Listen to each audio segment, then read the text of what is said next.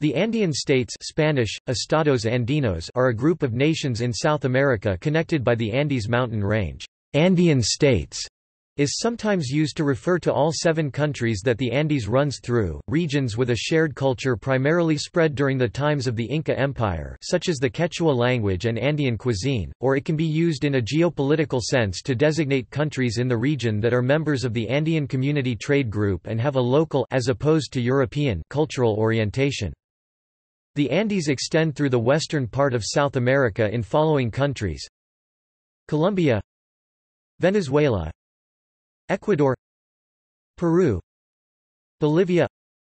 Argentina not considered to be geopolitically an Andean state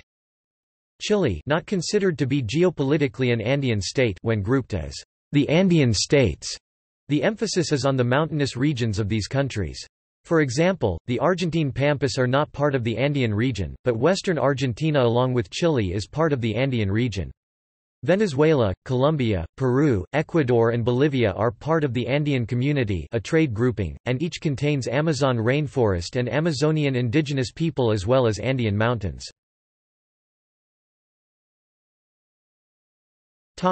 See also Brazilian highlands Himalayan states Andean community Southern cone